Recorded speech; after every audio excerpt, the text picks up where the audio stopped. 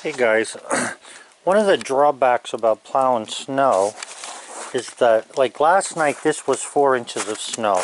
You can see on the wood here, there's still two inches left, and there's about an inch on the ground. Now, normally I wouldn't plow this. I would say, hey, you know, this is going to melt, sort of like what you see there in the driveway. The problem is, on my neighbor's driveway, the long driveway, it's 1,500 feet long, I wasn't going to plow it today but if I don't plow it, tonight it's supposed to be um, cold, which means that everything's going to freeze. So if two people drive up there and back, then I've got the ruts to contend with. And if they freeze solid, that makes things twice as hard to deal with. So I'm going to have to go plow that. I'm going to take you with me for that. Okay, so I was just building a fire in the house to keep things warm while I'm working. You can see that it's a mess. Here, the road is a muddy mess. Uh, there's stone on this road, but like it's just muddy because they're using a serrated blade on their grader and it chews up the stone and makes dust and dust gets water and it makes mud so there's not much you can do about it but anyway that's where we're at at the moment um, usually the road wouldn't be plowed by now because the, if the township was doing it. But the uh, gas well guys are pretty much on the ball as far as keeping the road clean for their trucks. So the driveway I want to do is right down here on the left. And uh, like I say, it wouldn't be a big deal if uh, nobody would drive up here. But I know that somebody's going to drive up here and make all kinds of ruts that are going to make it harder for me to plow. So I'm going to plow it now. I don't know if you can see that over there or not, but it's mud. The problem, like I say, is that tonight it's supposed to freeze. So whatever's here right now will freeze and then I won't be able to plow it if somebody drives up here. And even though I can tell nobody drove up here today yet, it doesn't mean that they won't. So normally I'd let this go because it looks like it's going to thaw. As we get up here further, it's going to be uh, thicker snow where the sun doesn't hit it or where it doesn't really warm up. But it's just part of the thing about plowing. And then, you know, sometimes what the people don't understand is I'll send them a bill and um, or even if I charge them for the whole season, they don't understand that it's extra work for me. Look at the turkey up there. Know if I got them. Probably didn't get them. There were turkey up at the end of the road there. Anyway, um, what they don't understand is I'm plowing this, even though it's not a sufficient snow, just to help me on the next pass. So I made the one pass up and I'm going to make one pass back down. You can see how um, thin the snow is. There's hardly anything there to push. But like I say, if somebody drives up here today, and almost every day they do, and they make ruts all over the place, that ruts make it harder for me to plow the next day. And we're supposed to get six inches of snow tonight. I'd rather have these stones that I have picked up all over the place that I give me some traction rather than to have the ice underneath, you know, where I'm going to be plowing. It's a shame that these water puddles are here. This wasn't like this before the gas guys came and ruined this driveway.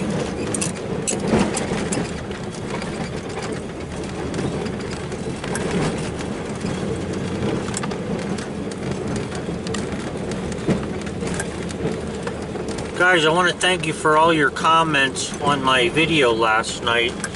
I really appreciate it. It's nice to know that us older folks are hanging in there together and that there's some young ones also joining our group, which is uh, always nice to know.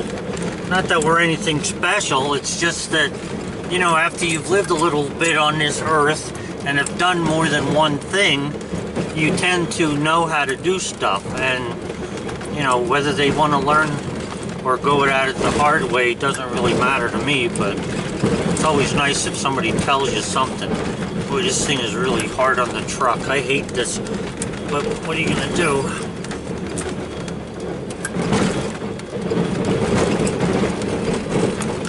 That's what it looks like in behind me.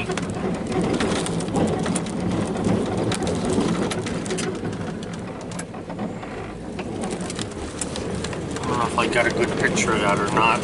I'm not gonna do that driveway. Normally I would, but it's I'm just making a mess here, so I just want to flatten it out. And that, that driveway, if I have to go up there and it's icy, uh, I'll still be able to get up it.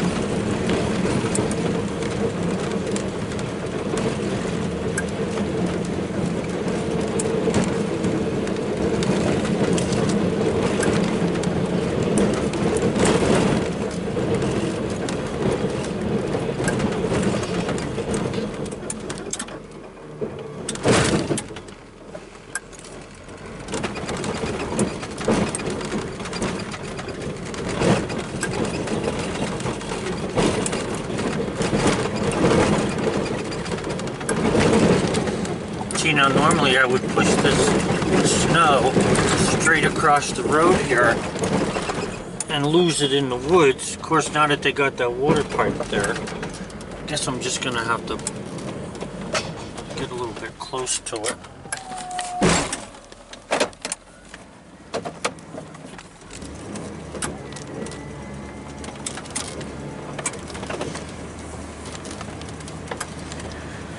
Uh, it's always something.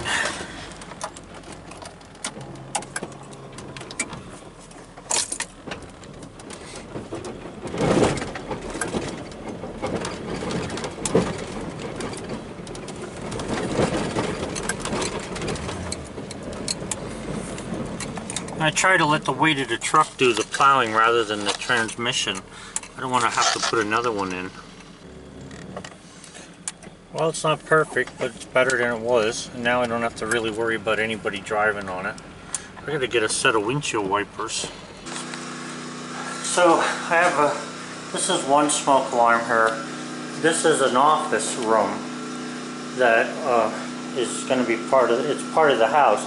I have a load of red oak there. There's a little bit of molding land on top, but most of that's red oak underneath there. That's, I was drying it up here and it's not the best conditions for drying because it actually puts too much moisture in the house, which wasn't good. But anyway, um, the other one is right there.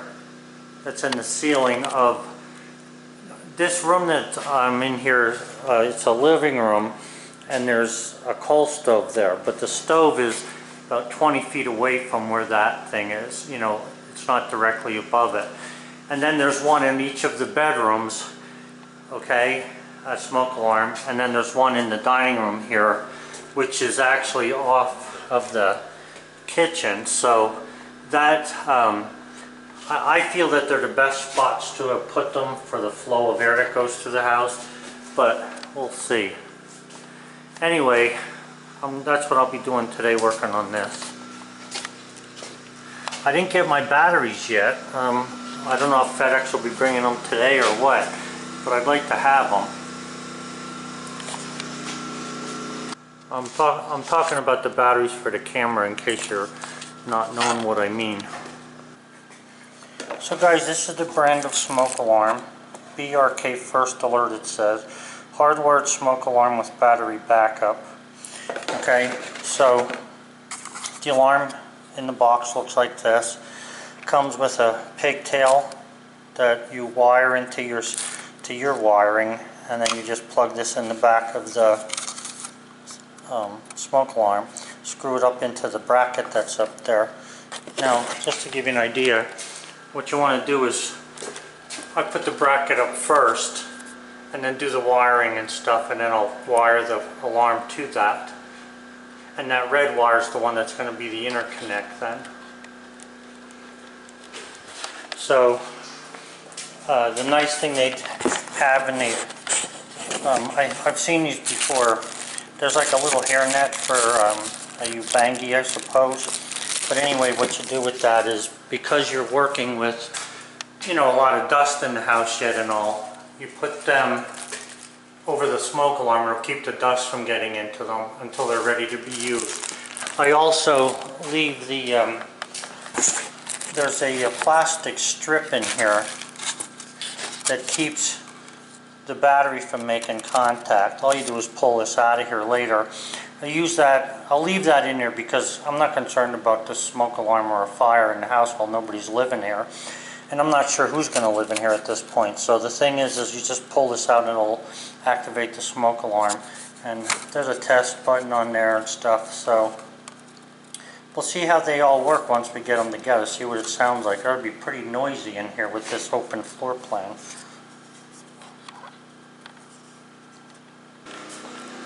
Okay guys, so I'm gonna test this. The breaker for the smoke alarm is that one.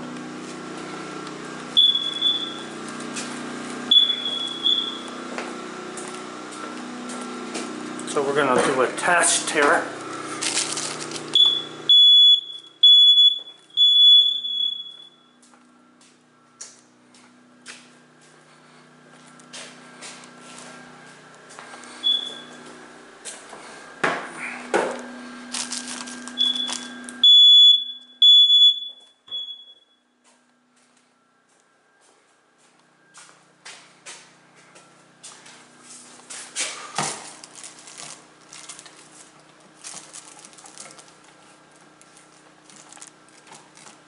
Come on.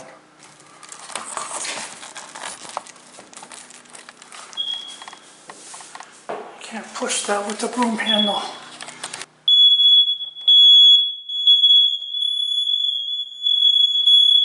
Holy crap. That'll wake the dead. I'm just pushing each one to make sure that each one is sounding. I can see the green light to it.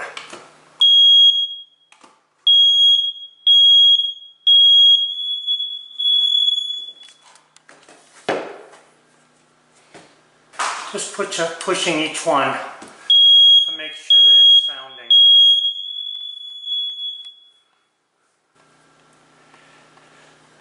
Every now and then, I don't know if you heard that, you'll hear a chirp because it's telling me the battery's dead because they're not feeling the battery. That's what's going on. But they're all working. So, that's one more thing done. Uh, guys, I brought a thermometer up here. Wanted you to. The temperature up here is seven. Uh, what is that? 68. And you can see the that stove is fairly small. Got a lot of rooms up here to heat, and it's doing a good job. I mean, 68 degrees for a little stove like that. There won't be much of a backup needed for electric. One of the other things about these uh, smoke alarms, guys, is um, they don't like what they call a noisy circuit. And a noisy circuit is something like a, um, if you put a welder, if you have a circuit on it with a welder on it or a, uh, uh, some sort of different appliances, a generator's circuit is definitely a noisy circuit and that's all that we have here.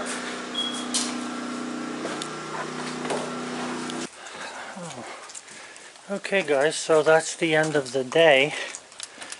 It's around 4 o'clock or so.